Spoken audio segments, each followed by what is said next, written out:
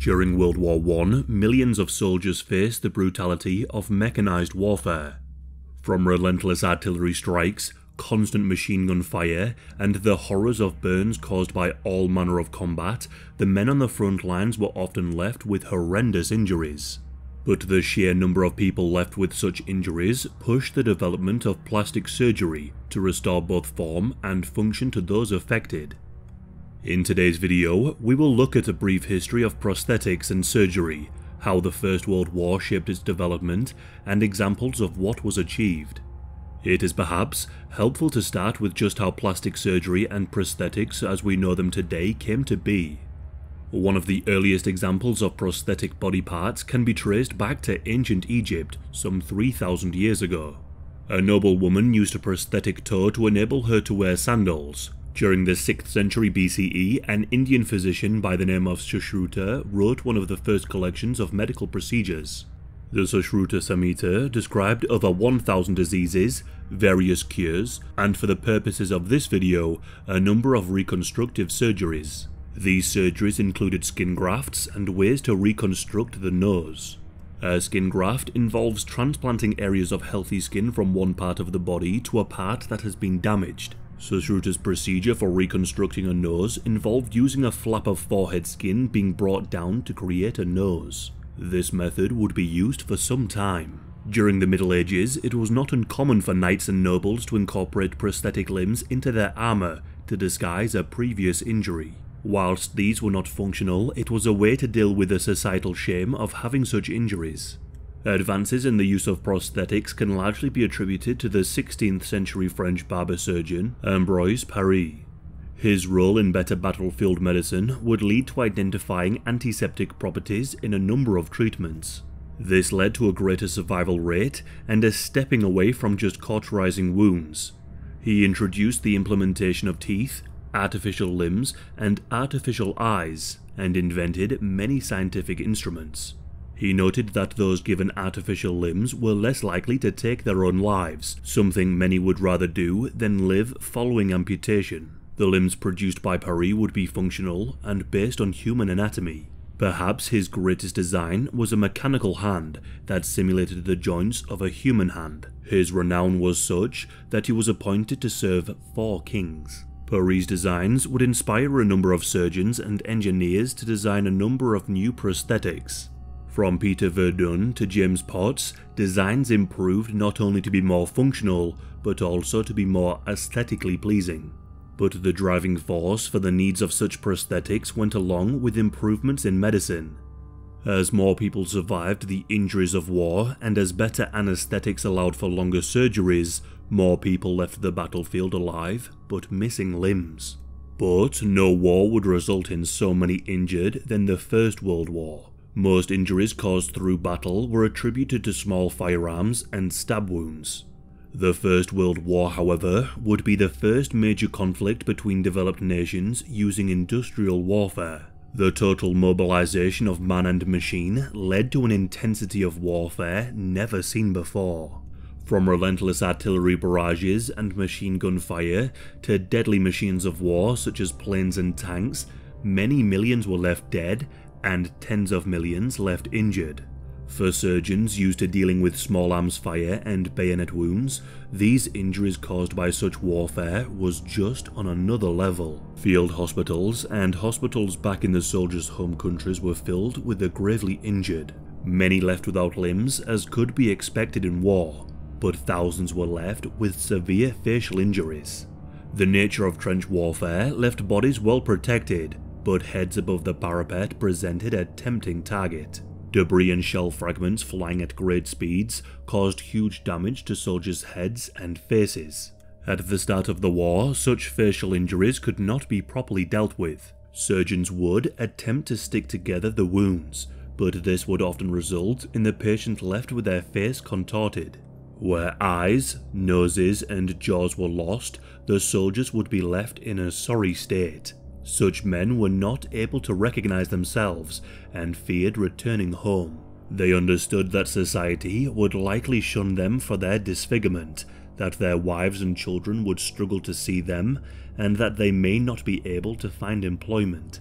It was the New Zealand surgeon Harold Gillies who sought to remedy this situation on a massive scale. He had witnessed firsthand the severe facial injuries affecting many of the soldiers. He returned to Britain and was able to set up a specialised ward for facial injuries in the Cambridge Military Hospital. Soon this would grow into a dedicated hospital for such injuries, known as the Queen's Hospital, located at Frognal House. Gillies pioneered the use of skin grafting for reconstructive surgery on a massive scale. One of the most successful procedures would involve lifting a large flap of a person's healthy skin, what was known as a pedicle. This flap of skin would be located near the wound or area of the face to be reconstructed. Whilst still being connected to the donor site, the other end of the pedicle would be moved over to the site of the injury without severing the connection to the body. By maintaining the blood flow, there was a greater chance the body would accept the skin graft. Perhaps the most famous of Gillies' patients was Walter Yeo.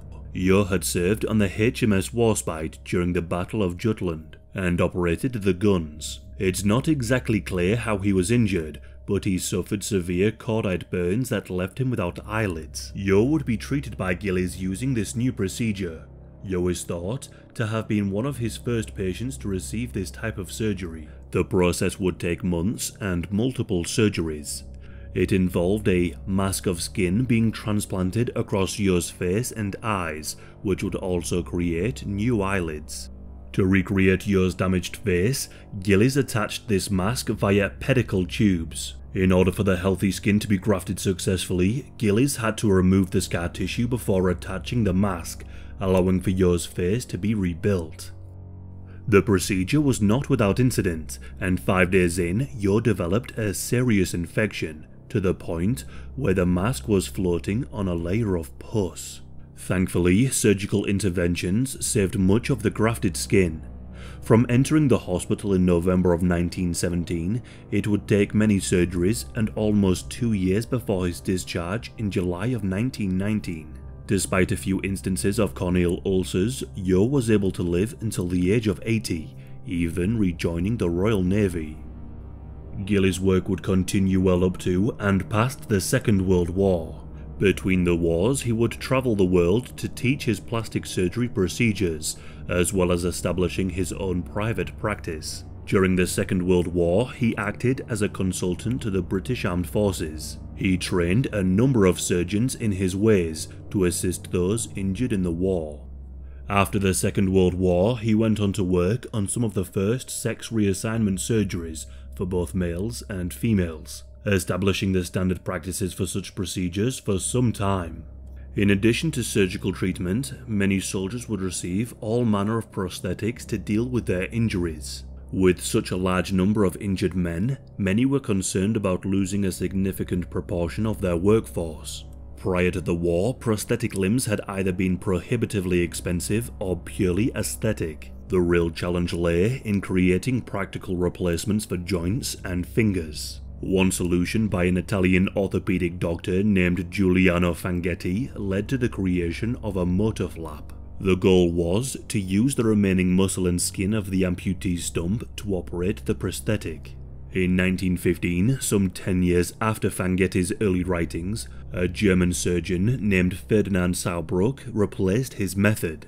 Whether or not this method would be successful would depend largely on what amount of tissue was left following this surgery. Another famous form of prosthetics would involve those who had sustained facial injuries to be given masks. In Britain, it was a sculptor by the name of Francis Derwent Wood that would develop such masks. Serving initially as an orderly, Wood first used his artistic talents to create sophisticated splints for the patients though he soon realised that his skills would be more helpful for those who had received serious visual injuries. In March of 1916, he set up his own unit to create masks, usually made from tin or copper. Each mask would be created from a plaster cast of the patient's face. Wood would take the castings and work out how best to rebuild the patient's face, rebuilding areas that had been lost. Once the metal had been worked and the restorative work completed, Wood would paint a unique portrait onto the mask. The patient's skin tone would be matched to create a smooth transition. Wood's work inspired other artists to lend their talents in similar endeavours. American sculptor Anna Coleman Ladd contacted Wood and together they refined and improved the process. By all accounts, Ladd's masks were more realistic. Ladd would travel to Paris and set up her own production of masks. Often she would include human hair to recreate eyebrows or moustaches. Such masks were often attached to a person's face through glasses. Fans of Boardwalk Empire may recall the character of Richard Harrow, who sported such a mask. Ladd would make around 180 of these masks, though the amount made by Wood is unknown. Whilst all of the 20,000 men who sustained facial injuries did not receive a mask, those who did were given an opportunity to better reintegrate into society and rebuild their shattered sense of self. But for many of those who left the horrors of World War I physically altered, they were seen as other, as different, as lesser. Many of the men struggled to find employment, instead taking up jobs away from the public eye. Gillies played his part in including reskilling some of his patients to find better, meaningful work after the war, but many struggled to reconnect with their families and loved ones. Some would never even leave the hospital, well aware as how they would be treated on the outside world. It is often the case that those who endure the horrors of war will be left broken and irreversibly changed by their experience. In the First World War, it is thought that one in seven of the soldiers returned home with some form of life-changing injury. So too is the case that those affected struggle to reintegrate into civilian life, whether it be because of the psychological or physical injuries they sustained. The work done by the doctors, engineers and artists to help rebuild the men's bodies no doubt helped, though very often, the soldiers were returning to a world that would not accommodate them. Even to this day, those with facial disfigurements are often seen as the villains, perhaps best shown in the James Bond films. The treatment of Walter Yeo would go on to inspire the design of one of the splicer enemies in the Bioshock video game. It must have been hard enough to lose part of oneself in the horrors of war, but to be shunned and seen as lesser on their return would have only compounded the trauma. It is vital we understand how modern plastic and restorative surgeries developed. The men who first undertook and performed these surgeries deserve to be remembered, not as an oddity, but as men who hoped to regain what was taken from them, and the people who did what they could to deliver what these men, at the very least, deserved.